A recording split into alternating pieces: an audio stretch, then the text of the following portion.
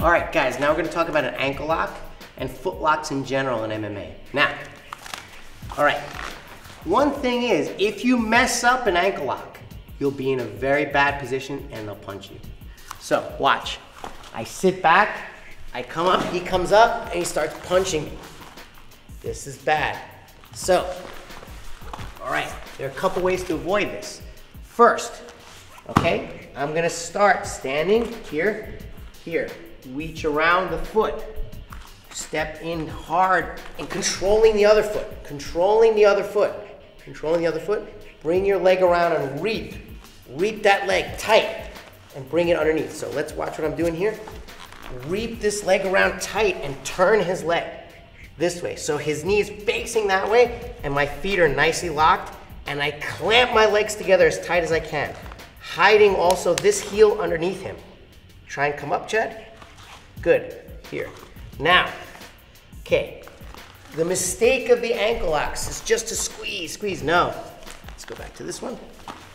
Okay, what I wanna do is put all my weight back against here before I even submit. If you try and go back here, nothing will happen. I'm gonna move, move, move, shimmy back.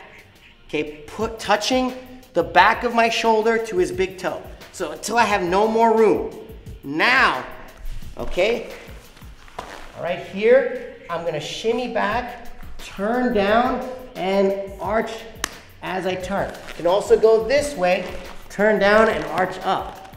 Okay, squeezing in, making his foot do this, this, and then back. This first, then back. Not just back. This, then back. So, one more time. Controlling both knees. Lock it up. Sit back. Reap. Squeeze tight. Grab the shin, shimmy back. He's already tapping. Turn. Already tapping. I clamp down this way, shimmy, clamp, arch. That's how you do an ankle lock in MMA.